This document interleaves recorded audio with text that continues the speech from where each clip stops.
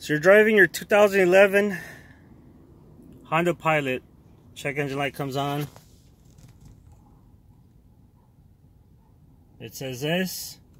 You put it on the code scanner.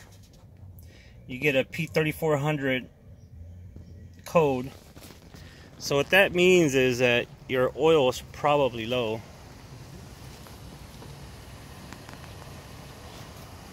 So I'm going to take out the dipstick here.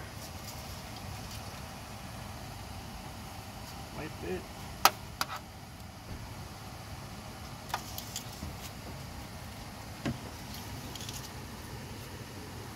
That's exactly what it is. See, it's barely at the hashtag. So these uh, engines are known to burn oil. Honda actually has a recall on it, but because this one here was size wiped and totaled out, or has a salvage title, all that was replaced was the fender and the door. Really, I don't understand why it was salvaged, but that's the only reason Honda won't honor the recall on this engine. So, what do you guys think? Have you guys had the same experience? Please like and follow. Thanks.